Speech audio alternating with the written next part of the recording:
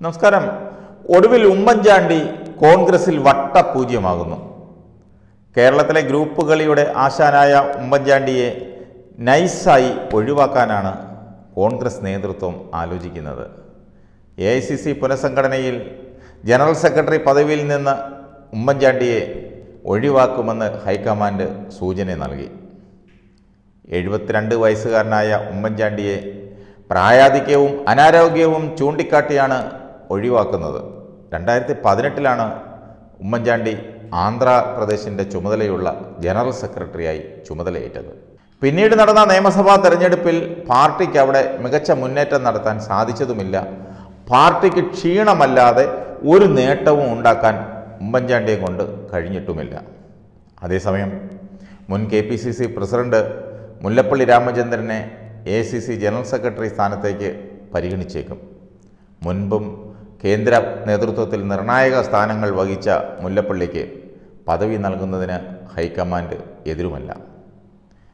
നേരത്തെ മുല്ലപ്പള്ളി കേന്ദ്രമന്ത്രി A C C joint secretary കേന്ദ്ര തെരഞ്ഞെടുപ്പ് സമിതി അധ്യക്ഷൻ തുടങ്ങിയ പദവികൾ വഹിച്ചിട്ടുണ്ട്. രമേശ് ചെന്നിത്തലയെ ദേശീയ നേതൃത്വത്തിലേക്ക് കൊണ്ടുവരുമെന്ന തരത്തിൽ നേരത്തെ സൂചനകൾ ഉണ്ടായിരുന്നെങ്കിലും ആ സാധ്യതകൾക്ക് ഇപ്പോൾ മങ്ങലേറ്റിരിക്കുകയാണ്. ഡി സി സി പുനഃസംഘടനയുമായി ബന്ധപ്പെട്ട തീരുമാനങ്ങളിലെ അതൃപ്തി രമേശ് ചെന്നിത്തല പരസ്യമായി തന്നെ തുറന്നു പറഞ്ഞിരുന്നു. ഇത് ഹൈക്കമാൻഡിന് കടുത്ത നീരസമുണ്ടാക്കി. ഡി സി സി അധ്യക്ഷ തെരഞ്ഞെടുപ്പിൽ ആദ്യം പ്രതികരിച്ചത് ഉമ്മൻചാണ്ടിയാണെങ്കിലും രൂക്ഷമായി വിമർശനം നടത്തിയത് രമേശ് ചെന്നിത്തലയായിരുന്നു. ഇവർ രണ്ടുപേരുടെയും പ്രതികരണങ്ങളാണ് അവർക്ക് തന്നെ വിനയായത്. പാർട്ടി നേതൃത്വങ്ങളിൽ നിന്നും ഇവർ രണ്ടുപേരും ഒഴിവാകുമ്പോൾ അവർക്ക് വീട്ടിലിരുന്ന് പേരക്കുട്ടികളെ കളിപ്പിച്ച് വിശ്രമിക്കാം. കുട്ടികളെ നോക്കാൻ ആളില്ലാതെ വിഷമിക്കുന്നുവെന്ന് ഹൈക്കമാൻഡിനോട് ആരെങ്കിലും പറഞ്ഞു കാണും. അതായിരിക്കും ഇത്ര പെട്ടെന്ന് ഹൈക്കമാൻഡ് ഇങ്ങനെ ഒരു തീരുമാനമെടുക്കാൻ കാരണമെന്നാണ് പറയപ്പെടുന്നത്. ഇത്രയും നാൾ അവർ സമൂഹത്തിന് വേണ്ടി ജീവിച്ചു.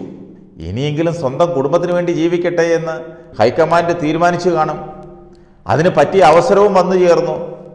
ഇനി അതല്ല ഞങ്ങൾ ശിഷ്ടകാലവും ജനങ്ങൾക്ക് വേണ്ടി ജീവിക്കുവാണെന്ന് തീരുമാനിച്ചാൽ രണ്ട് കൈയും നീട്ടി സ്വീകരിക്കാൻ ബി ജെ പി കൊച്ചാട്ടന്മാർ വീടിന്റെ പിന്നാമ്പുറത്ത് തന്നെയുണ്ട്. അവരെ തപ്പി എങ്ങും അലയണ്ട. വല്ല ഗവർണറോ കേന്ദ്രമന്ത്രിയോ മറ്റോ ഒക്കെ ആക്കുകയും ചെയ്യും. തീരുമാനം നിങ്ങളുടേതാണ്. ആലോചിച്ച് തീരുമാനിക്കുക.